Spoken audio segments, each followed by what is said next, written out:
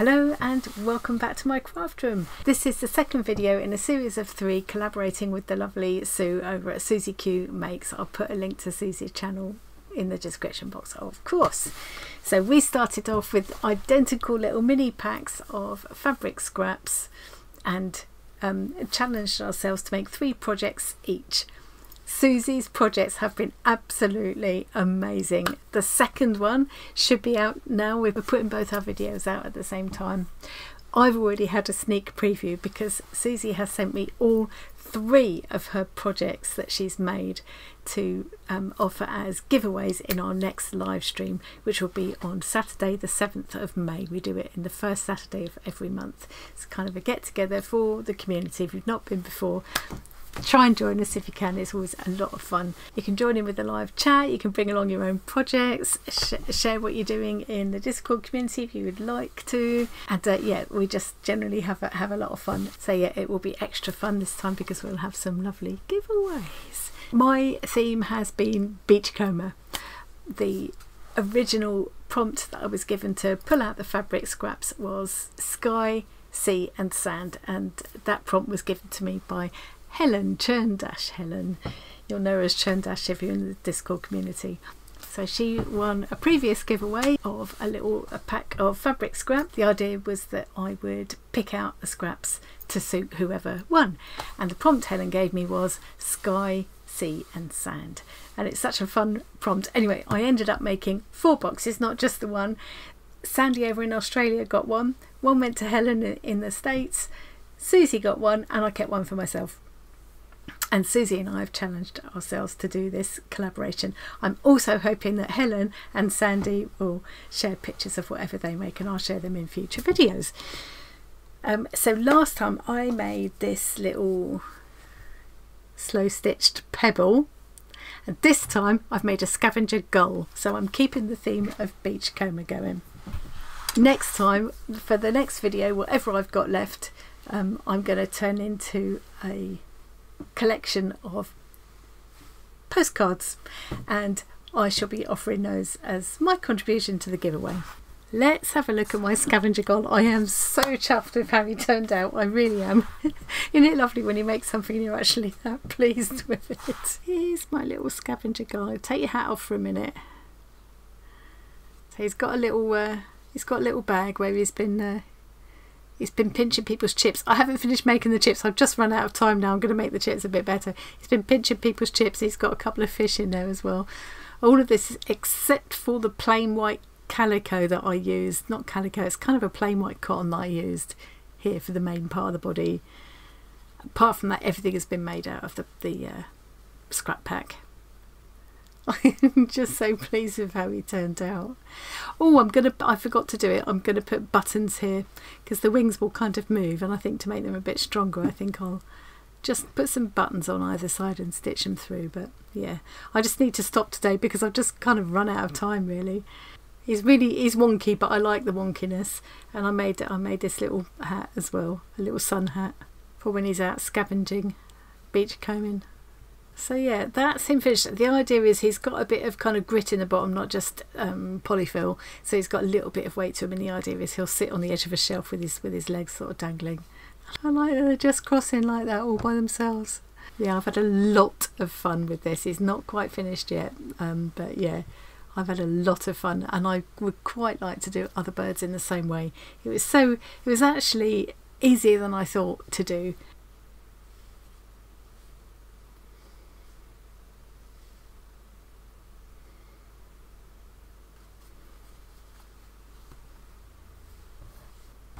So yeah, I'm going to hand over to my earlier self now so you can get a, a few peeks at how this project came together. I hope you enjoy. Right, this is the sort of beginnings of my my seagull design. I'm hoping this is going to be about the actual size. These are the pieces of fabric I've still got left. I'm going to do this project. I've already made my little stone, my pebble, slow stitch pebble and after I've done the seagull I'll use whatever is left to make a set of cards.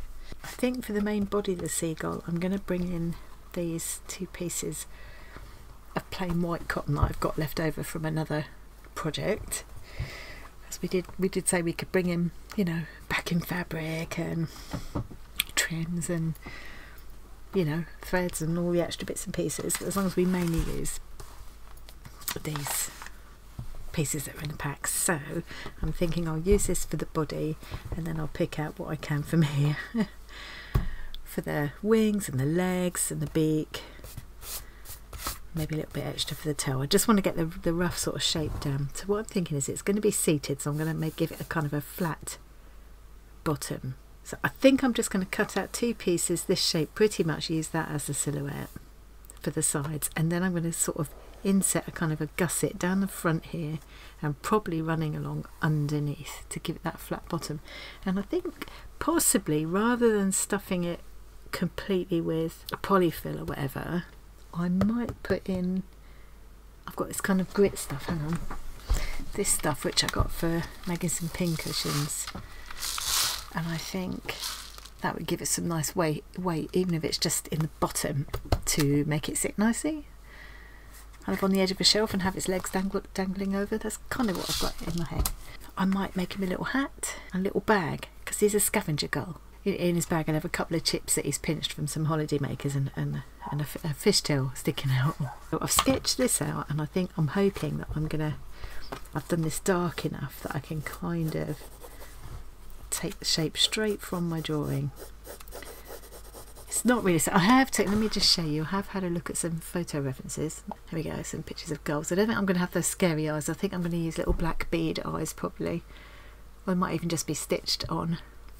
But I've, I've, oh, I've not gone for realism, obviously. I've extended the neck a bit. I'm making him sit down. His tail isn't going out as far as it really does.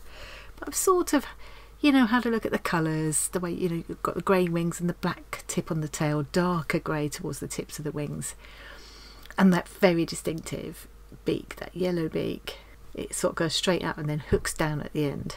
I'm going to make it not quite so sharp because that'd be difficult to do. And, I, and the way his, his, he's got almost this kind of smile shape that goes all the way along the beak and kind of into his face, finishing like at the corner of his eye. I'm going to try and get that effect. And then he's got his kind of his little knobbly knees and his webbed feet. Kind of the look I'm going for, but it's going to be a bit. It's not going to be the least bit realistic the white fabric out in just this kind of silhouette shape first.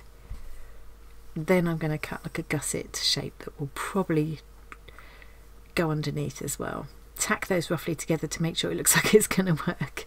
The beak will go on separately. Not quite sure how I'm going to make it carry on like this. If I can't make it carry on like that, then I'll just make it just attached to the front of the face like that.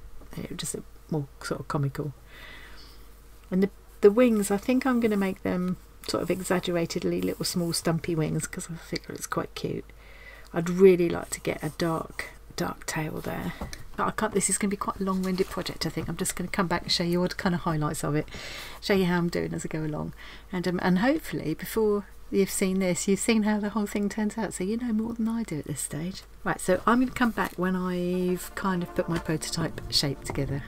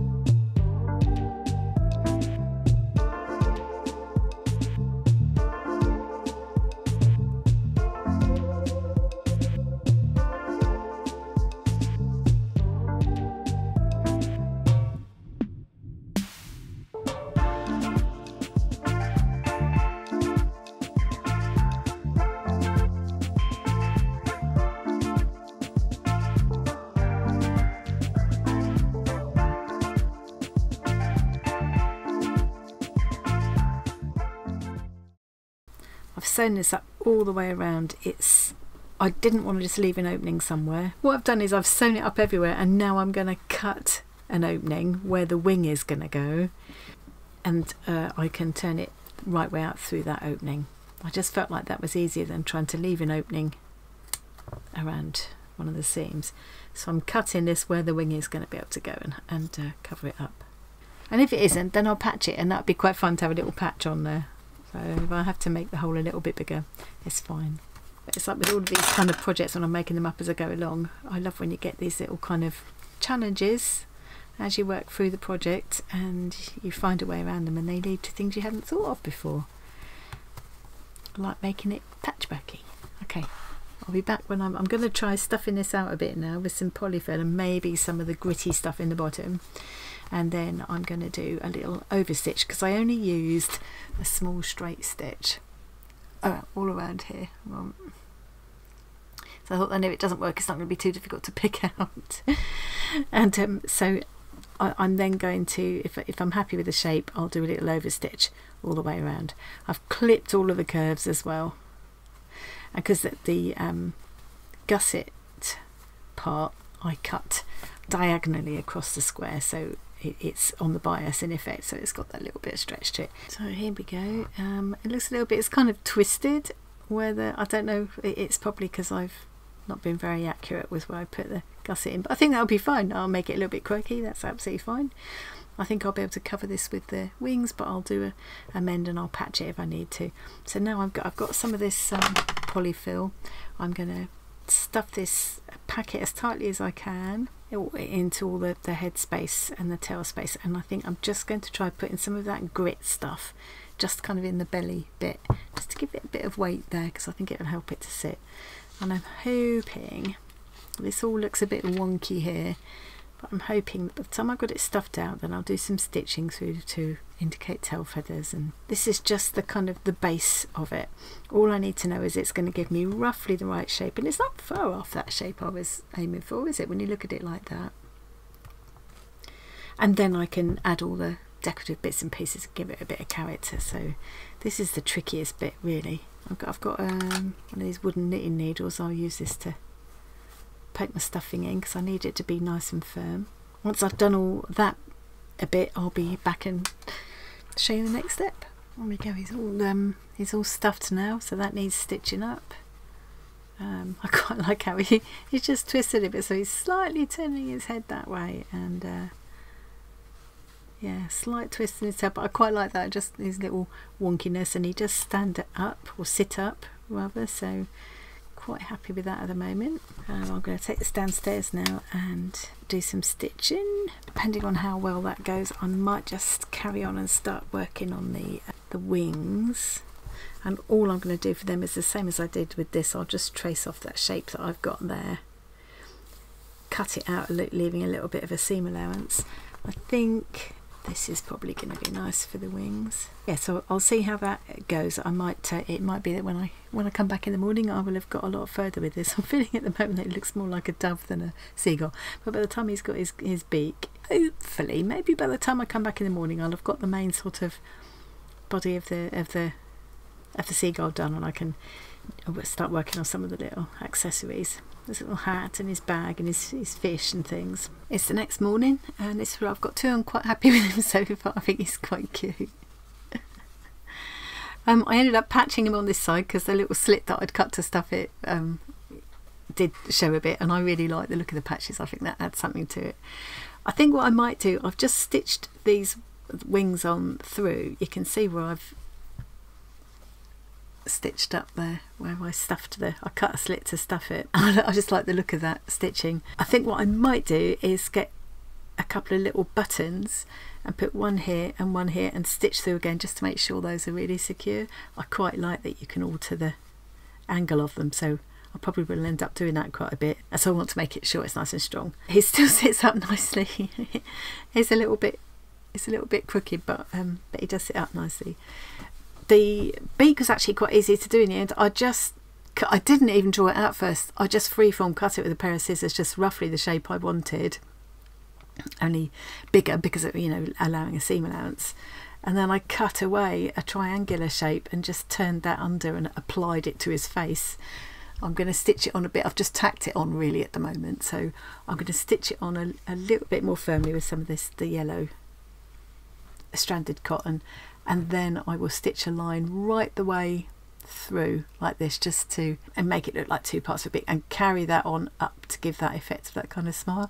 And I might even do a little bit of kind of thread painting just little short stitches some in the white and some in the yellow to sort of blend this into the into the face a little bit just a bit. I'm not going for realism obviously he's turned out very quickly that kind of twist in his tail means you see the tail stitches. I've just done a little bit of a feather stitch not feather stitch fly stitch uh, for his tail feathers there.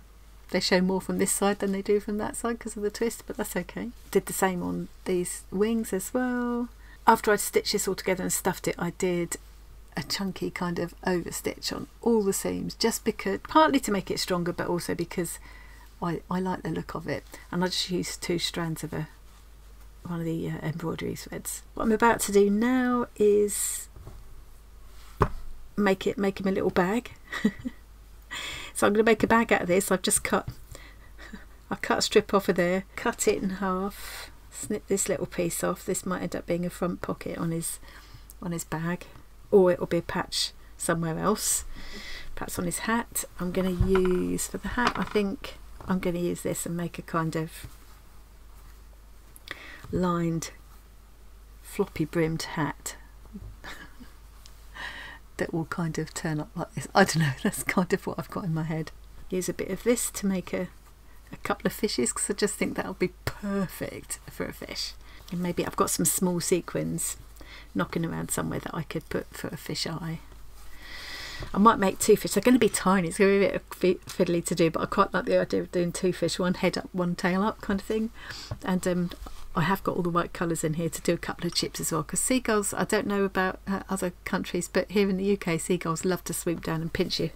Pinch your chips straight out of the bag when you're sitting there eating your fish and chips by the seaside, or your pasty if you're in Cornwall. And then there's the feet. So for the feet, I think use this to make the legs and this to make the feet.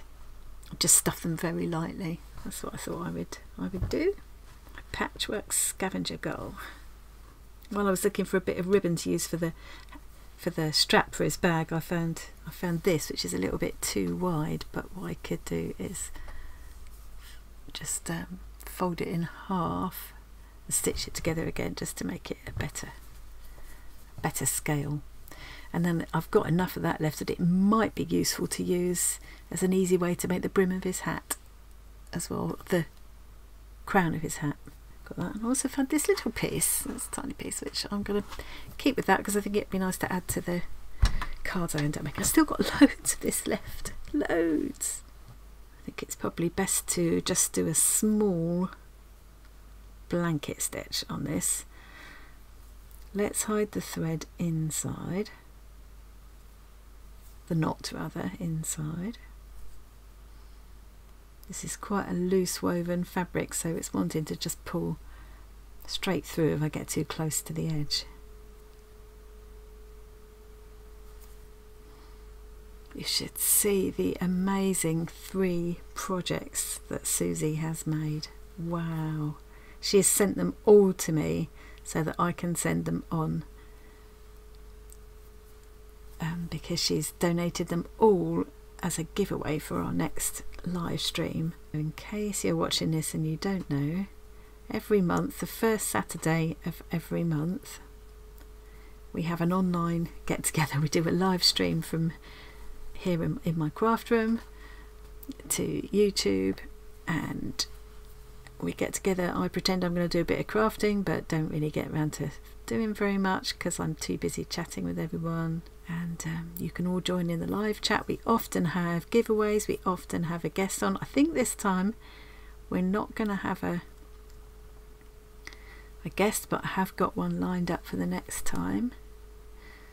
This time we'll be doing a lot of giveaways because Suzie has given me three. I'm going to choose one of mine. I'm going to pick a couple of things, one of Suzie's and one of mine that I'm going to give away internationally, and the others will be just UK. I can't afford to send them all overseas, but I will make a couple available overseas. Oh, just wait until you. I'll do a video nearer the time eh, during the week before, showing all the prizes. I nearly cried when I opened the box that Suzie sent with all hers in. I was so overwhelmed by them. Okay, I'm just going around the corner now, so it's a little bit awkward, but we can do it. First Saturday of the month will fall on the 7th of September this time. If you want to make a note in your diary so you don't miss it. I don't make the giveaways available to enter beforehand on I used to make it so you could enter them in Discord and the Facebook group and on Instagram I don't do it anymore because we got some scammers. So I'm trying to keep the community safe. I can't it's it's so annoying you just want to do a nice thing and do this giveaway and people take advantage and so you will only be able to enter during the actual live stream and the winners will be announced during the live stream. I will never contact anyone afterwards and ask them to log into a website or give me their bank details or any of those things. Sadly, a couple of people did fall for that one time, and so yeah, I've had to change how I do them. But it's nice that though that the people who join in with the live streams regularly and uh, participate in all the chat and everything that they get a chance to win. So so that is good.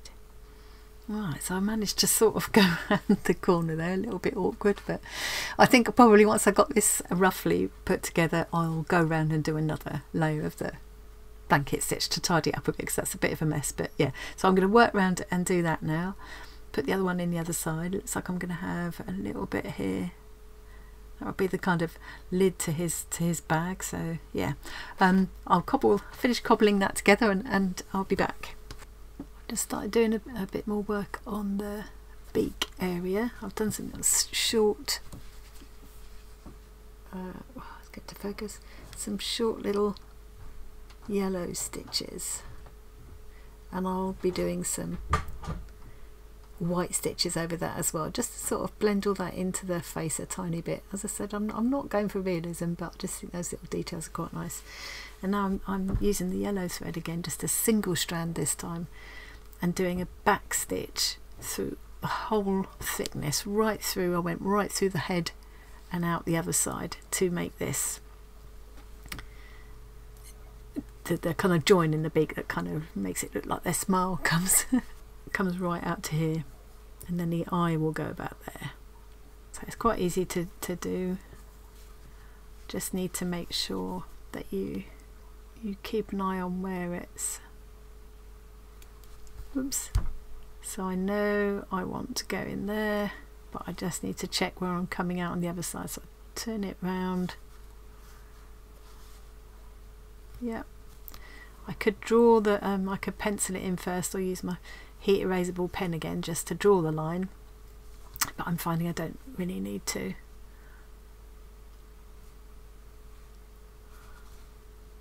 So yeah, that's that's quite easy to do and I think I'm just going to carry my line on down to here. I'm not going to I'm not going to um, go halfway along. I think that, that that point of the beak tends to come down over the top of the under beak if that makes sense. So I'm just going to go along here. So I'm nearly done. I'm just doing a back stitch and pulling it quite tightly each time to create that that line. If I felt I needed to, I could go back over it again once I've done this first line. Just keep turning it and turning it to make sure I'm following along the line on both sides. Oops, now I'm threading my needle. So I'm quite happy with that. it's starting to get a real little character now. So I'm going to uh, carry on, just finish this little line and do some little short stitches in the white here and then when I come to put the eyes in I'll come back and show you. I finished making the little bag a little kind of bucket bag it's turned into. I ended up turning it inside out so the blanket stitches on the inside so it's still good it's there because it'll stop it fraying but I just thought it looked a bit neater like that. I considered doing over an over stitch on this across here but I've just decided it's probably I'm just been too fussy. So uh, and here I did a, a whipped back stitch I might even just um, put a little bead here in a minute to look like a button down kind of you know where the, the flap of the bag is buttoned down it will look better once it, you won't see all that messy inside once it's got things in there it's fish and chips in there. I've just got the whatever I'm going to put inside the bag. The fish and chips are inside the bag, and then the legs and feet to do. There we go. I've finished adding in some little stitches in the yellow and white just to blend that all in a bit and I've put some little detached kind of fly stitches whatever they're called down here. I'm going to dig out some buttons in a minute to go on there. I found a tiny button. I've got just a very small stash of these which I think I'm going to use on the um, on the bag. That'd be quite nice um, and I've found these black glass beads which I like to use for eyes. So I'm going to pick out two roughly the same size. And I've threaded my needle um, slightly different way this time. So what I've done is I've doubled up the length of thread. It's just one strand of the embroidery cotton. And I've put the two cut ends through the eye of the needle leaving the loop at the other end. It just makes it a bit easier to do this next bit. So now I want to put the eyes in. I think I want the eye to go about there. I mean, depending on where I put it, I'll get different kind of expressions, but I think there looks about right to me. I need to make sure I come out the same on the other side.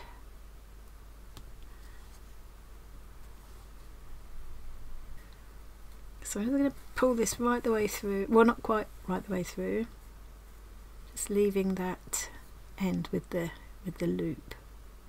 Now I'm taking a tiny stitch, really tiny like that, and going back through, coming out just a tiny distance from where I first went in. And as I pull the thread through, I'm going to go through that loop. It just makes a nice little knot without an end to get rid of.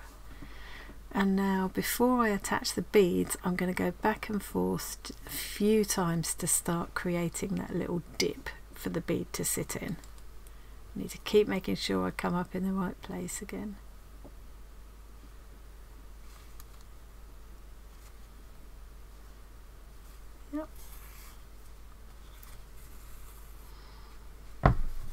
So you can see that's starting to make the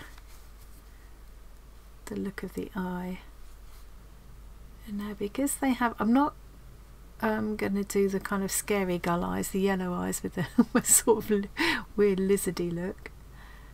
Um, these are just going to be black, but they do have that kind of slitty shape sometimes, don't they? So I'm, I'm going to now just elongate that hole a little bit, just make the stitch a little bit wider to start creating that sort of long slit shape. So you can see that is starting to have that effect of a of an eye. I'm just going to do it once more and then I'm going to add the bead. I, I, I might decide the bead is too much and end up just going with a bit more stitching but I'm going to try the bead because I think actually it would work fine like that. It's like he's sleeping. or I could try French knot instead. But let's try the bead. He's got nice big holes these ones, otherwise I might have to change needles. Oh.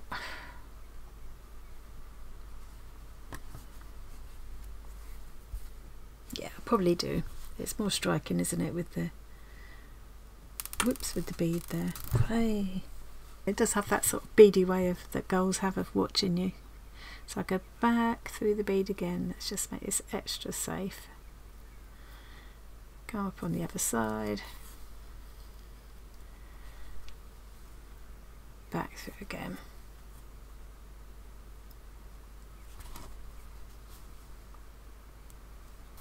And now I'm going to just not pull through quite all the way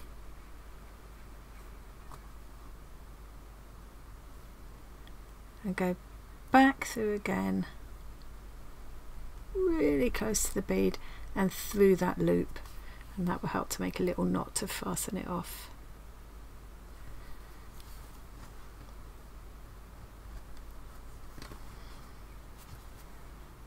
And then I can just take that bead that uh, needle right underneath underneath the, the chin hair out of the way. And then just pull the thread taut oh it's absolutely pouring down the rain. There we go. It's funny from the top. Yeah I think the beady eyes are a good idea. It was quite hard to decide though. Well, it's making me think I, I fancy doing some other birds in the same way. It's cute with his little bag on. Actually I can bring his arm down his, his wing down. He can hold on to his bag look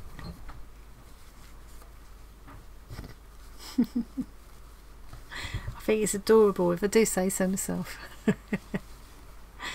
okay, I've still got to make some things to go in the bag. I've got to make his feet and I've got to make a little hat. To make the hat I'm going to use mostly this fabric. I've got this circle. around that so I'm going to use the heat erasable pen. I must remember to go give a blast from the hairdryer because I've still got some blue here where I drew around that first pattern piece. Oh, I want to do this on the wrong side actually. Right, draw around this, just leaving enough for uh, a bit of a seam allowance. And I'm going to draw around it again because I'm going to use this one for the brim and this one for the crown of the hat. Doesn't matter I've gone into white there because that bit won't show. Right, the hat's going to be the lining of it, I think. Yep, I think that would be nice. But first of all, to make the, the crown of the hat, I'm going to do this as a, as a tiny um, Suffolk puff. I've made this teeny weeny little Suffolk puff, fastened it off, flattened it out. I've just left raw edges there because they're not going to show anyway and this will just become that kind of top part of the hat. I think it's about the right size. So now if I just put this in the middle I can see it's about the same size as the centre of the hat and that's easier to draw around so very very much making this up as I go along so. So I'm thinking this is this is where I'll attach the oh, this will be the upright part of the hat and then it will need to stitch onto there. So I'll need to cut this hole up but again with a seam allowance on the inside. So I'll clip all the curves. First thing I'll do is and I'm just going to stitch all the way around here cut out the middle turn it the right way out.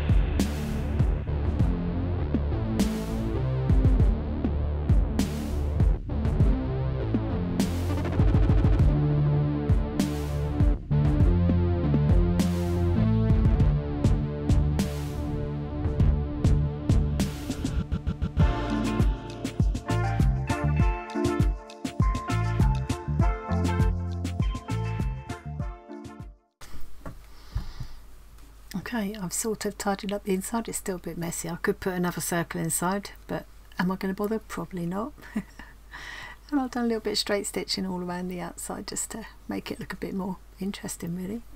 And now I can just sort of shape the hat, decide which way round I like it best. Pop it on his little head, or hers. oh, cute. I think I'll, I will have to um, make a little cord out of some of the embroidery thread just to put around there and tie it around his chin. I think it's a hair now, it looks like a hair now. I just want to do a little um, finishing whip stitch around the edge as well. I just think it needs to needs just that finishing touch and I need to do the feet. Also at least one fish and a couple of chips to go in there as well so I need to get the skates on I've got to get this video edited. It's got to go up tomorrow morning. So here's what I'm going to use for feet I think what I'll do is just quickly explain what I'm planning to do because this video is going to get ridiculously long again. If anybody's got any questions about how I've done any of this please don't be afraid to ask. I want the legs to be reasonably long so I'm going to plan to use this the whole length of this. And I think what I, the easiest way to do it is rather than try and stuff something I'll cut it in half and then let's just do it now.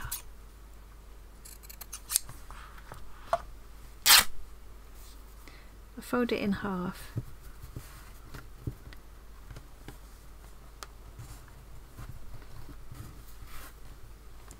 Half again half again kind of thing. Until I make like a long tube like this and then I can just whip stitch down there pretty much like I did for the bag strap. Then I think what might look quite cute I will have to try one to see if it works. It's for the little nook because they've got quite pronounced knobbly knees seagulls haven't they?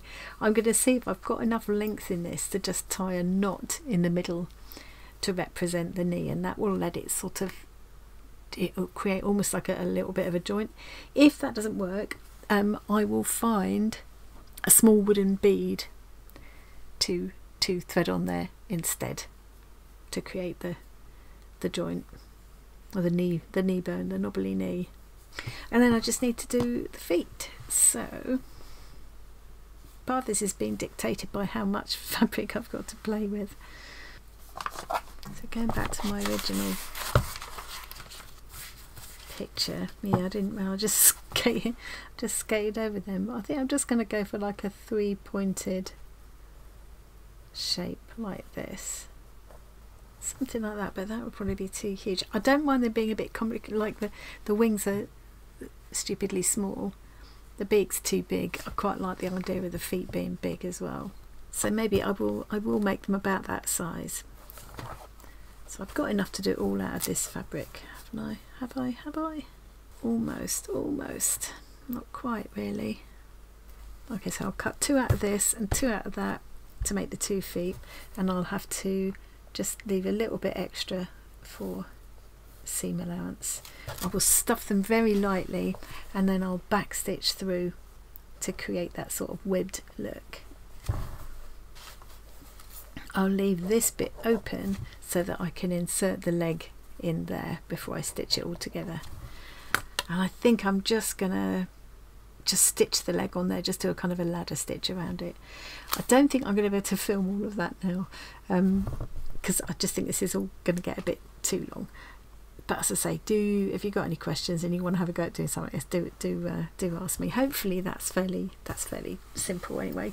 And the fish I will be making out of the, the back of this the reverse side of this fabric I will literally do a shape like this. Smaller than that. And I'll find a sequin that will work as the eye and then I, I, might do one the other way up so I can do a tail but I might decide a tail shape's a bit too complicated to do. I don't know. I will, I will literally use, use the wrong side of this stuff it very lightly. Um, and the chips I'll do in a very similar way to how I'm going to do the leg except I'll fold it in half to bulk it out a bit. And that'll be enough to indicate chips. And I, I might even um, use a little bit of Inktense pencil or something to to do some sort of brown edges on the chips. So I think I'm going to carry on and do all of that now and then come back and show you it when it's done. Here we go. He's all done. Um, I'm really happy with it. I just did a, a very long skinny tube of fabric and the tying the knots in the middle worked really well I think to make the little knees and um, did the feet as uh, as I described. I've made some sort of mock-up chips for now because I've just kind of run out of time and um, and a couple of little fishes um, just because I need to get this finished now to get this uh, video ready but I think I'm going to carry on titivating a bit with this I'm delighted with it I'm, I'm going to have to try and take photos to show it because it doesn't really I can't show the right angle but so I think um, I'm going to go and record the beginning of this video now and try and show this at a slightly better angle.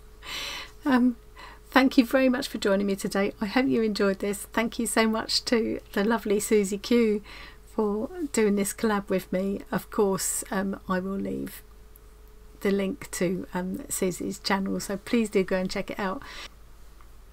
I've already had a peek at what Sue's made uh, for this week for this week's video um, and I'm sure you're going to absolutely love it. So thanks again for joining me today and I will see you again really soon. Bye.